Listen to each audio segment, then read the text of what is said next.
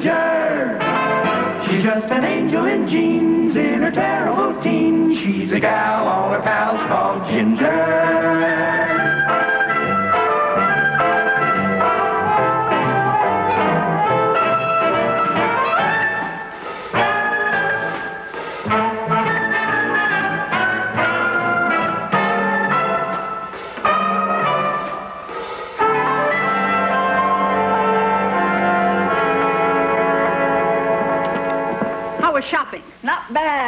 Just one small dent on the right front fender. Your fault?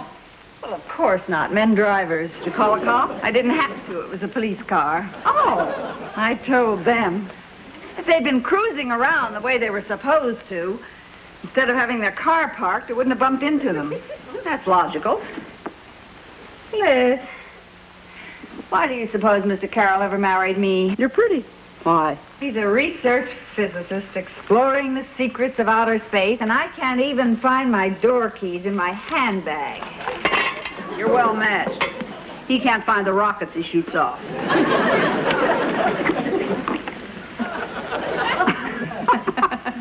By the way, he phoned about a half hour ago From Canaveral? from the airport. He's back?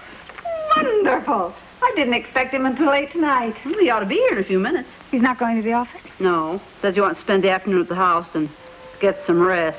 A nice, quiet afternoon with Ginger.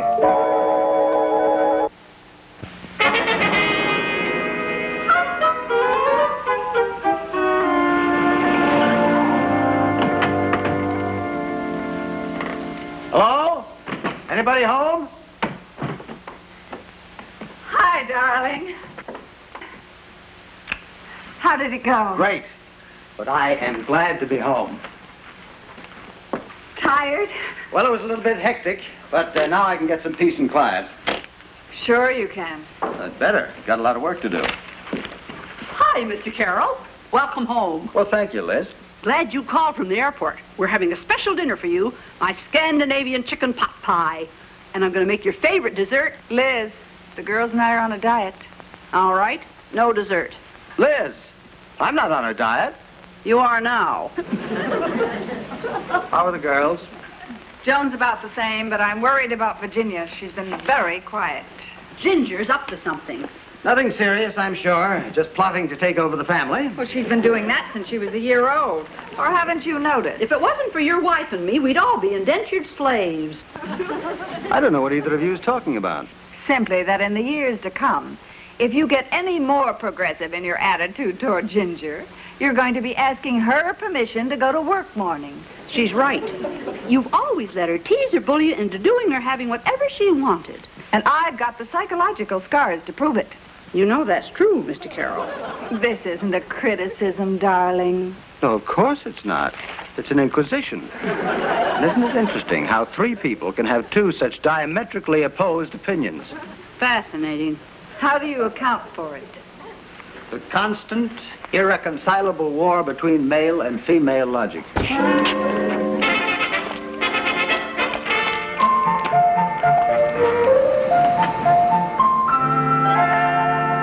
Hello, everybody. Dad! Joan, Oh, when'd you get home? just now, where's Ginger? Oh, she went out to the garage to get a file. Help some lady escape from prison. How was your conference at Canaveral? Very exciting.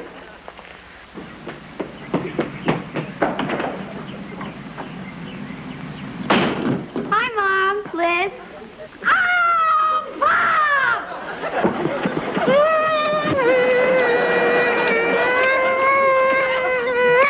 Are you finished? Welcome home, Pop. Mm. Thank you. Would you mind getting up now? Sure. Hey, did you see that dreamy Von Braun in Canaveral? Yeah, I saw Dr. Von Braun. Now there's a mouse who's really off his launching pad. Shoo! Virginia, pick up your sweater. Where are you going, Liz? Out to base the Brussels sprouts. What's this, Mom? Oh, it's a new cocktail dress. We're going to a very fancy sit-down dinner tomorrow night at the Blake. The kind where they serve a clear soup with a slice of lemon floating on top. Oh, you're funny, Pop. And black and blue. Way out, Mom. boy, am I glad you're home. Well, I don't see why you bought it. You've got thousands that look just like it. I'm a collector. When your mother wants an opinion on what she should buy, you'll be the first one she'll ask. You'll be all right, Pop?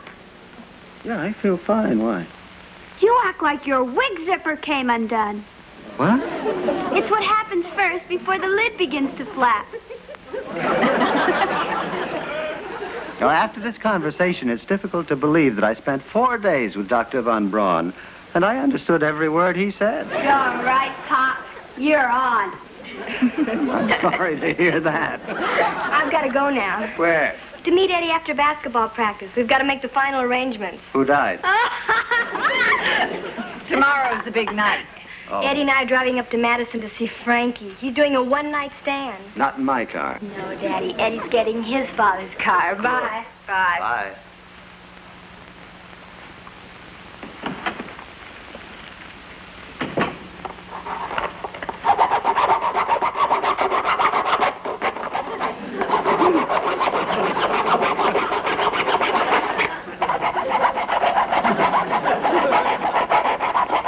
Virginia, I'm finding the spikes on my track shoes.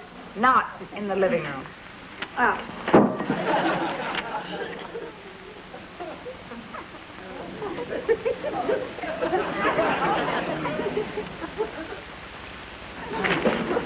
Would you please drop the other shoe? That's a nice thing to teach a child. Well, she had one shoe.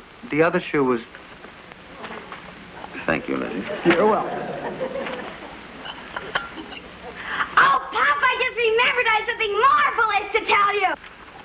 I'd hate for you to have bad news. Last minute basketball game yesterday. Our team was one point behind. We had the ball. They were trying to get it down the court. The kids were yelling and screaming. Everybody was hot and wild. Time! What happened? And he broke away from in the basket. Somebody fired him a pass. And he won the game. Nope. It went right through his fingers, and we blew the game by one point. Isn't that absurd? Well, it's at least a switch.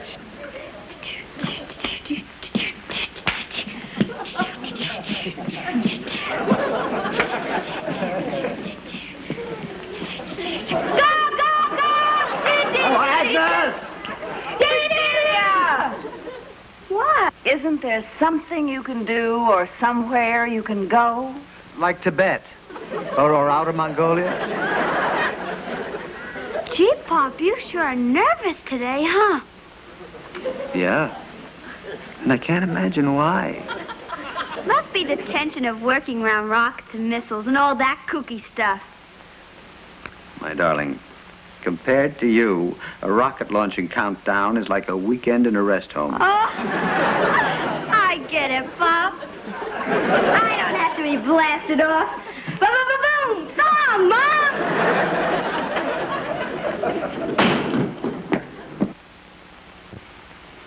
They say boys are worse at that age.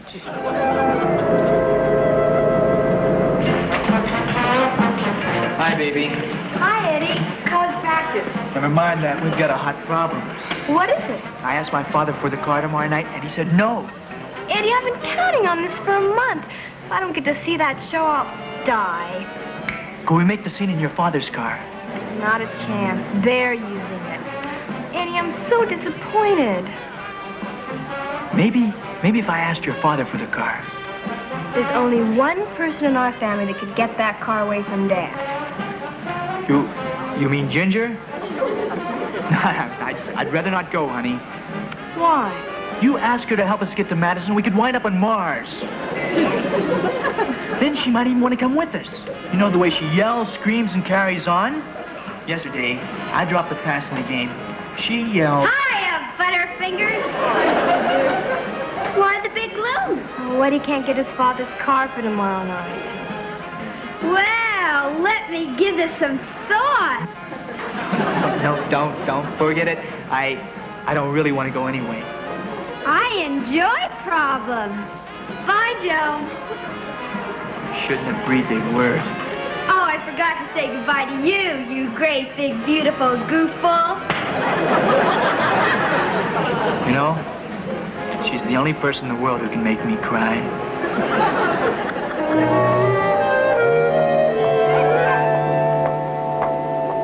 Joan!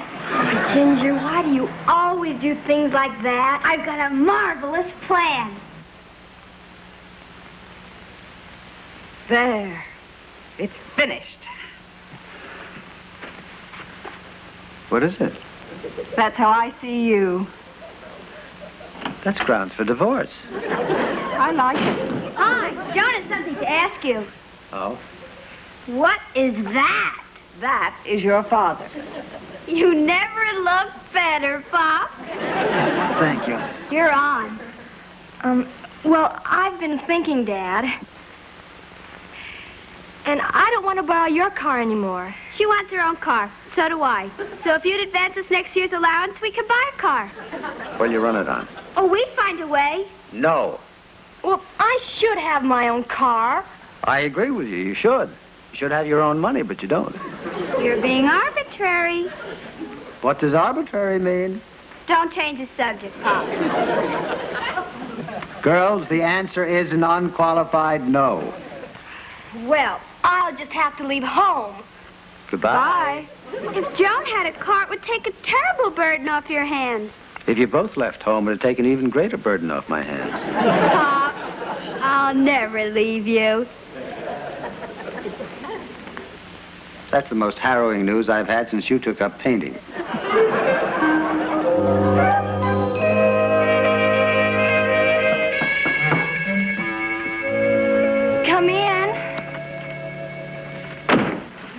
You. I thought it was Dad. No, it's me. And boy, are you in great shape.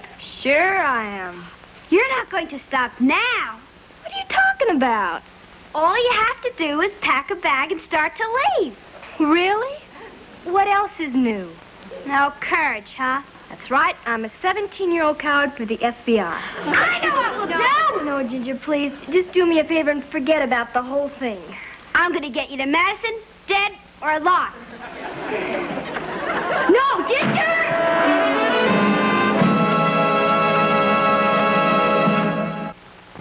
I don't understand it. There's nothing to understand. Ed Hoffman's car is in the garage. So we're picking them up and taking them to the Blakes tonight. That's why we can't give Joan the car. But I promised Joan I'd get her a ride tonight, and I never break my word. You shouldn't have promised. She's a crusader. Mom, who else will be at the Blakes tonight besides you and the Hoffmans? The Martins, the Simpsons, the Thompsons. Why? Twelve, huh? Uh-huh. How about if we switch the party from the Blakes to here? Why not? Liz, twelve for dinner. Virginia. Sit down. What? The Child is absolutely wild. No, huh? Darling, it's the Blakes' party. You just can't switch it to another house. Bet I could. I'll bet you could too, but you're not going to. Oh, boy, I just had a great idea. Bye. Darling, maybe we could. No. Oh, Mr. Carroll, maybe it wouldn't be too much trouble. No, no. Well, But I think that... No. She got herself into this. Let's see how she gets herself out.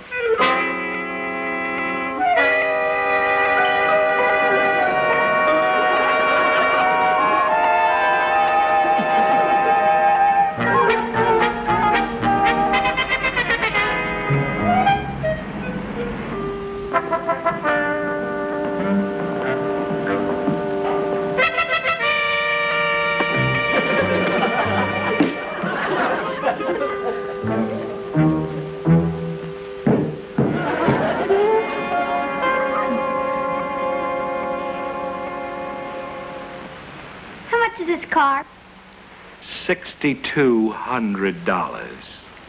Hmm, it's got good-looking hubcaps. Oh, thank you. How fast will she go? Look, uh, aren't, uh, aren't you just a little too young to drive a car?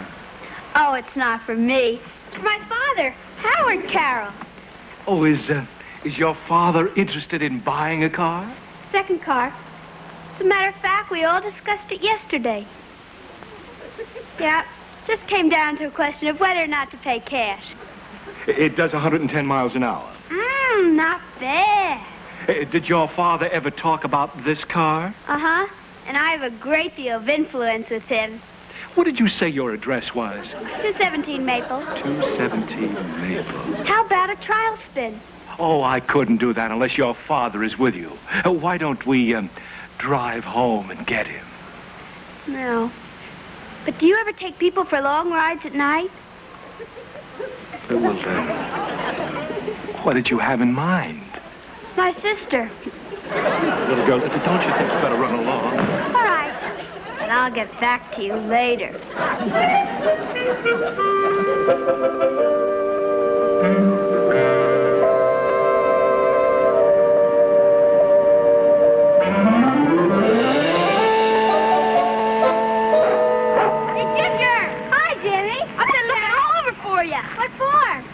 You want to come play baseball? We're short a man. What position? Right field. Now, you want to catch? I want to pitch. We already got a pitcher. Oh, me. You catch and I pitch. Okay. No, I guess I can't. Why not? Have to do something. Too bad. Sorry to break up the game. That's all right. We haven't got a ball anyway. Hey, why don't you go to my house and tell Liz to give you one of my baseballs? Okay, thanks. You want to ride? Sure do, but not for myself.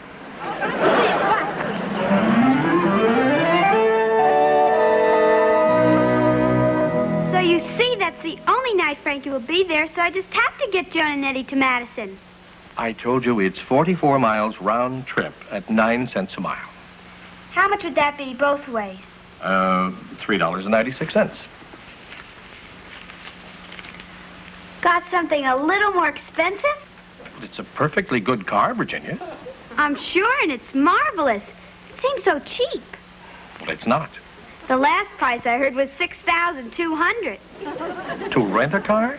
No, that's what I was thinking of buying. W- Well, we have the big cars that go for 12 cents a mile. That's about uh, mm, $5. I'll take that. My guests go first class. You're a real sport. Now, let's see. With uh, mileage, insurance, and rental fees, that'll be Rental fee? uh, $13.96. What have you got for six eighty? Nothing. How's my credit? I'll tell you what we do. You take the 680. You know I get a generous allowance for a girl my age. I'll get a job delivering newspapers in the mornings and one after school someplace. And I'll tell everybody to send the money straight to you. Instead of $13.96, I'll pay you a flat $14. Mr. Simpson, if I don't do everything I said, you can sue my father. Virginia, Please. I'd like to help you, but I'm sorry I can't. Now, here. Well, thanks anyway, sir. Gee, the world of business sure is hard-hearted, isn't it, Mr. Simpson?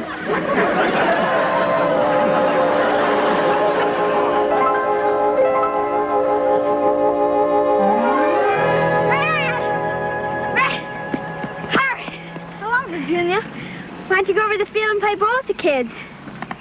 You can play. They're using my ball. I don't like sports.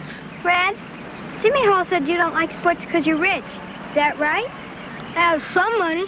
Could you lend me eleven dollars? What collateral you got? My father. When will you pay it back? In about a month. Cost you two hundred percent interest. I don't care. Can I have it? No. Why not? Because I hadn't got eleven dollars. You're a real pal, Red. Why? Because there aren't many people that would lend you money if they had it. What else are friends for? Thanks anyway, Red.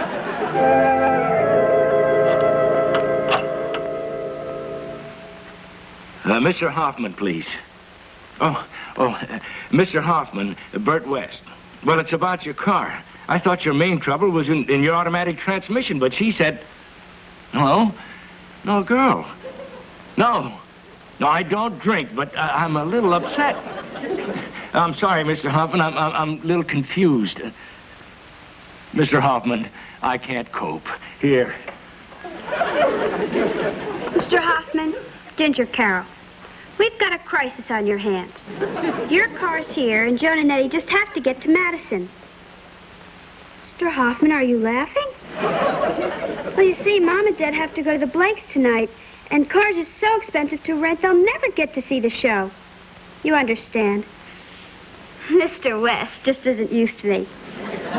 Right. He wants to speak to you.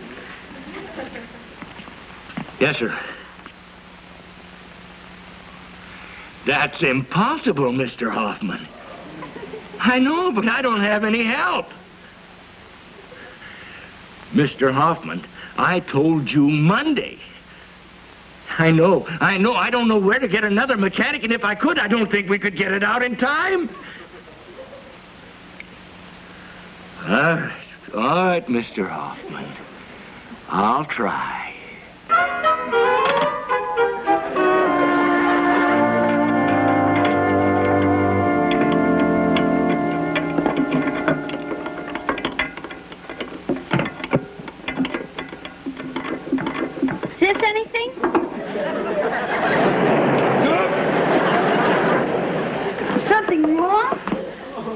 You keep unscrewing things.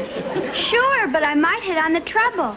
You've been here just two hours, and this car's in worse shape than when I got it. Have you ever thought it might just be out of gas? Out.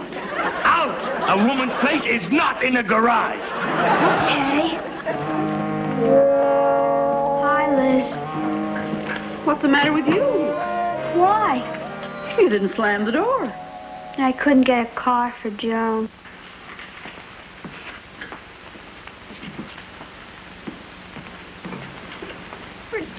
Virginia! What have you been doing? Nothing. Nothing. Look at you. I'll go and clean up, Mother.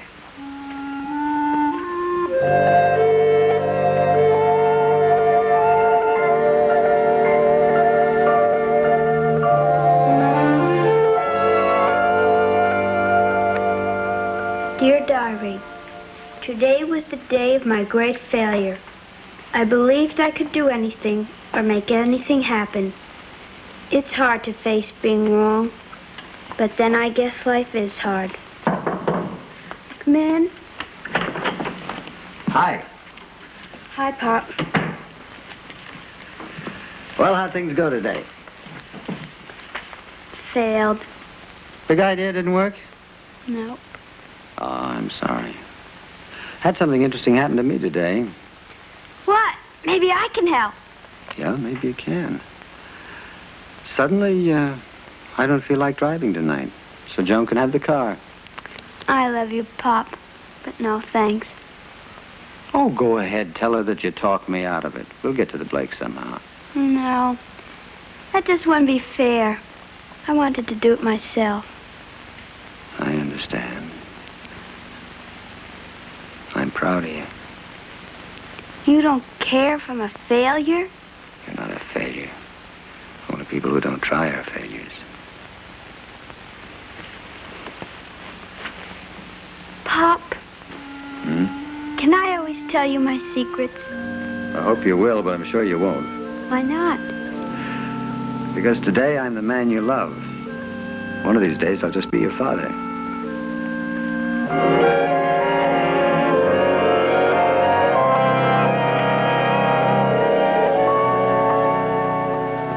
Look, I don't mind missing the dance, but why do we have to stay home with Ginger? Well, since you couldn't get your dad's car and Mom and Dad were going out, they gave Lizzie the night off.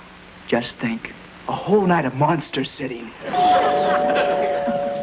Butterfingers! Hello. Is your father home? Yes? I'd like to give him a demonstration ride. Won't you come in? Thank you.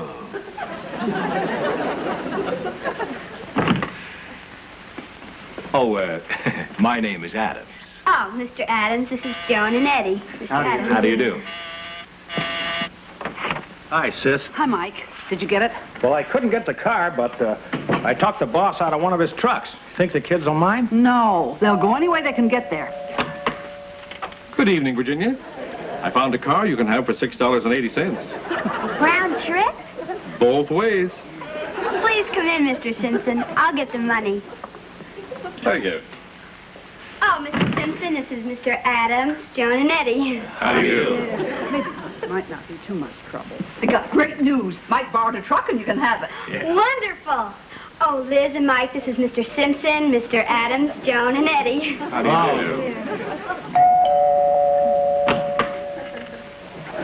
Mr. Hoffman told me to deliver the car to you. I knew you could do it if you tried. Mr. West, this is Mr. Simpson, Mike, Liz, Mr. Adams, Joan, and Eddie. Hi.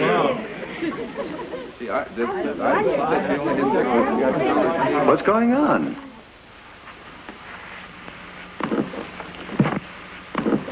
Pop, if I tried to explain it to you, you'd never believe it. But why are all these people here? They're all here with cars to take Joan and Eddie to Madison tonight. So I guess I'm not a failure after all.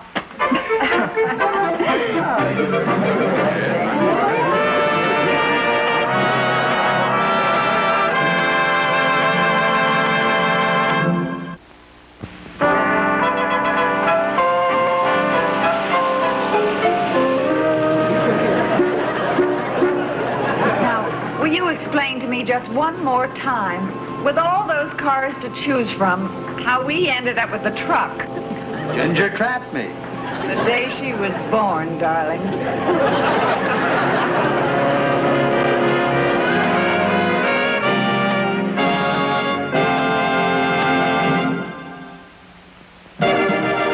She's an angel in jeans in her terrible teens. She's a gal, all her pals call Ginger. She's also ponytail nice, full of sugar and spice. And her smile has a style, all Ginger. She's fun, she'll run and laugh at the slightest notion. She'll dream, then beam. Look out for the big explosion. Oh, there's no doubt in her mind that the future will find every day's gonna be just a family size. Gee, climb out, take time out for Ginger.